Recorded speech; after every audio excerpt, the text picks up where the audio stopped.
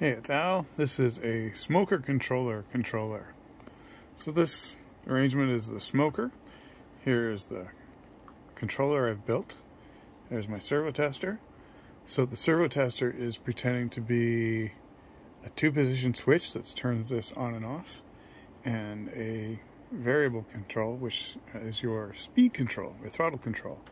And I've got the the uh, servo here to represent the throttle. So I'm going to turn it on. And this is flashing because it's unhappy. It's not getting a signal. And that's due to my controller here.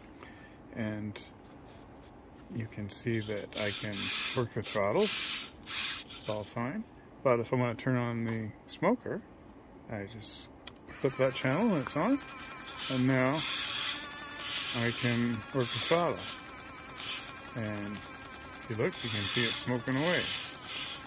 When you've had enough smoking, just flip the switch, it's off again. And you're still throttling. Thanks for looking.